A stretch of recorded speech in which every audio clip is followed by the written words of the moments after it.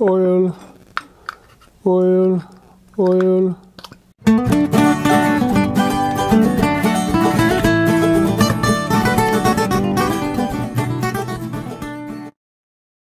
I'm James Wright and welcome to my shop. Um, I had uh, quite a few people actually recently ask me about auger bits and so I thought I would uh, do a video on that. And there are many, many different types of auger bits and styles. Um, and so how do you sharpen them? Uh, what do different types do and what are they good for? So let's take a look at this and uh, see what we can learn. So let's look at a few other types. Uh, the most common one you're going to find at a garage sale um, is this type. It has a uh, it has uh, two blades, but it only has a single spiral. One of the blades, the spiral stops at that point. Whereas sometimes you'll find a double spiral where both blades have a spiral that completes all the way up the shank. And uh, the way these work is they have a knife that cuts the hole, but they also have a nicker on the side that cleans the hole. So this nicker is the very first thing to touch the wood well after the screw. And the nicker determines the diameter of the hole. And the nicker will actually kind of score a circle, and then the blade comes through and cleans out that circle. One of the other common things you'll see a lot of times on the bigger ones made for more of your post work, uh, this monstrous um, 2 inch, which someday when I have a use for it, I will clean it up, but until then, um, yeah, it's a pretty big booger. Um, it has a blade, it doesn't have a nicker out here, so the blade will determine the size of the hole. And then there is sort of a nicker, but it hangs down. Uh, and so that's the last thing to touch the hole, and that will kind of clean it out. This will still leave a little bit more rough of a hole than having the, the nickers touching first. But uh, it works fairly well, and it is very fast and efficient. The next thing you're going to commonly see is an adjustable, um, and this is kind of uh, kind of like two different cutters in one. So if you look at it from the end, it has basically a traditional um, screw nicker, and blade that's about three quarter inch diameter. And so that is just like a, a, standard auger, but then it also has this other blade that comes out here with a whole nother nicker and blade. And uh, this basically will then cut a three quarter inch hole and then have another nicker that comes out some particular distance and cut another hole around it. So you're sort of using two bits at once. Um, a couple problems with this is number one, there's only one cutter per size, so it's kind of slow. And number two, there aren't um, screws running out the side to remove the dross. Um, so you kind of have to uh, uh, pull it out occasionally and clean out the hole if you're going too big. It also has a tendency to wobble because all the force is off to one side. But uh, even with that, it goes fairly well and it's a useful tool. You just have to make sure you have enough force behind it. So before we talk about the augers themselves, I want to talk about the files a little bit. Um, now this is basically the, the standard file you're going to find anywhere. And it has ridges on both of its faces, but it also has ridges on the edges, um, on both of the edges. And so you have to be careful if you're filing up against a side that your file on the edge doesn't hit it as well. They make files that are specifically for augers, and they're usually shaped like this. And in this case, you're going to find that you actually have um, filing on the face on one end, and the other end, the, the face is smooth. And then on the edges, if it has ridging on the face, it doesn't have any ridging on the edge. And if it was smooth on the face, it has ridging on the edge. So you can use the edge or you can use the face. And there's what is called a safe edge or a safe face that has no grooves on it. What this allows you to do is file up against something, but then that edge, that edge doesn't actually cut into something else that's at 90 degrees to it. So you can file safely without hurting something. So uh, you'll often find these, um, well, you'll find them online, but they're pretty hard to find at garage sales. Um, and when you find that whole that whole pile of files for sale, um, Every now and then you might find one of these in there, but they're, they're fairly hard to come by. Um, if you look at your files, occasionally you'll find files with a safe edge, and you can use those.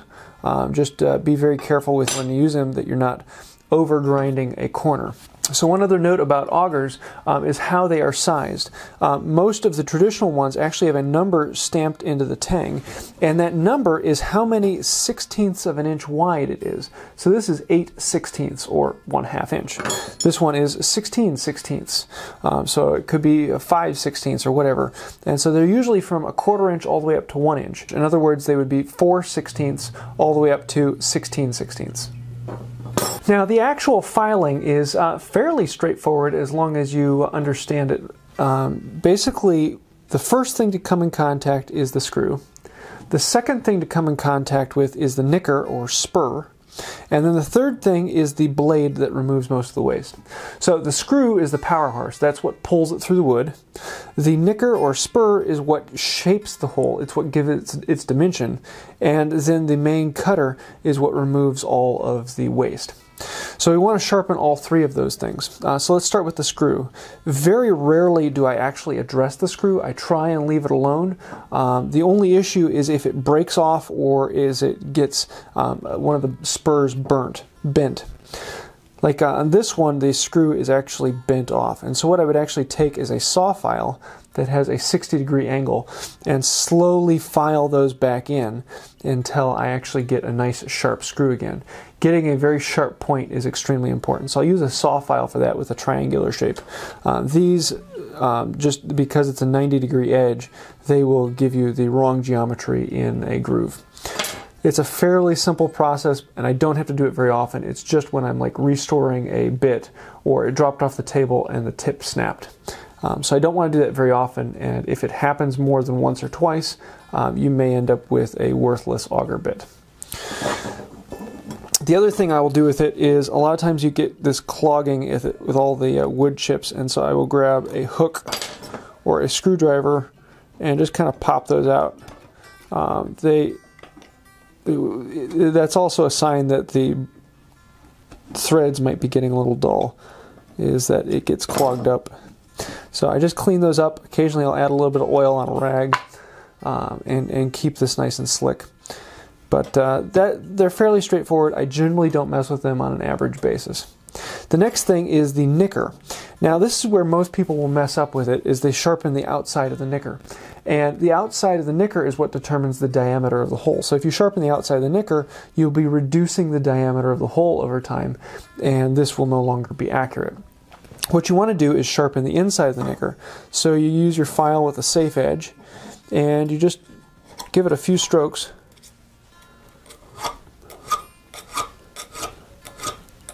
Like that. And I'm focusing on the very tip of the nicker and then the leading edge of it. I don't want to mess as much with the back of it.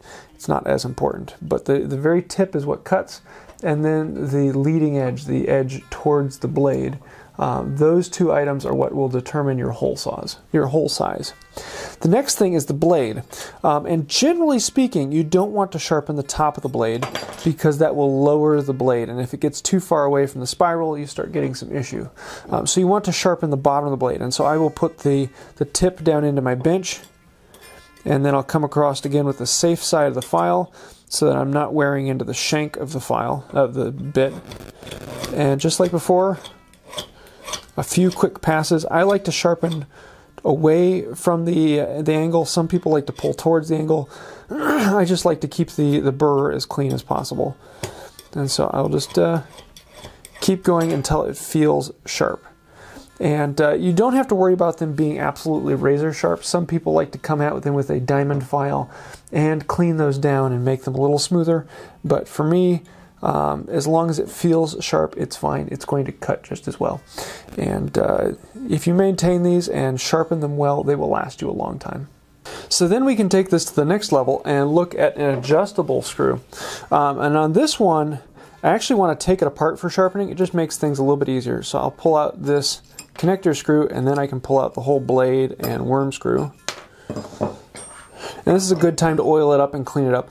And basically on this, you are then looking at a single nicker and a long blade all the way along here. And so with the long blade, sometimes I'll just get a regular file and quickly go along it. I want to be careful, I don't want to get right up against that nicker. Then I'll bring out the one with the safe file and Get that edge nice and clean, and then clean up the nicker. So just like before, um, only on this one with the traditional augers, you're getting underneath the blade to sharpen it. With this one, there's, there's no way to get underneath it, so you're just doing the top of the blade. And then you're also going to be cleaning the inside of the nicker, not the outside of the nicker, because the outside of the nicker is what determines the diameter of the hole. And then on the main shaft, it's just like with the regular nickers, uh, with the regular blades, you're cleaning the inside of the nicker again, and then you're going to clean the underside of the blade. So just like with a standard bit, just like that, and you have a nice sharp blade. It really doesn't take much, especially if you maintain them. Um, you know, just a few strokes of the file will bring that edge nice and back. They're not made of a really hard steel, um, so they're they're fairly easy to work with and uh, fairly functional. Then you can put the whole thing back together and go to town. So once you understand the basics of what to sharpen, um, the underside of the blade and the inside of the nicker, uh, you can really go to town on most any um, auger. There are a bunch of other ones in different types, but uh, they're all basically the same thing. Inside of the nicker and the underside of the blade. Um, unless there is no underside of the blade, then you have to do the top side of the blade. So that's about that. So I hope this was fairly informative to you. Um, there are other types of augers out there, and uh, they are going to be uh, sharpened in slightly different manners. But these are really some of the most common augers you're going to find, and the most uh, simple ways of, of sharpening. Uh, you will find other uh, um, other augers get sharpened slightly differently, but uh, if you understand the geometry and how they're supposed to cut and what actually makes the holes, um, you start to see how they should be sharpened. As you, you don't sharpen the outside of an auger because that will change the size of the hole. But as long as you keep that careful, um, you will find that these will treat you very well and become extremely efficient. Uh, they pull through the wood very, very well. So I hope you enjoyed this video. If you did, please let me know in the comments below. Uh, if you have any other questions, I would love to hear those. I might be able to uh, answer them right then and there for you. And uh, I want to say a huge thank you to the patrons on Patreon. You guys are incredibly phenomenal and a huge, huge encouragement to me. So thank you for that. If you did like this video, you might find you like one of the others. And until next time, have a wonderful day.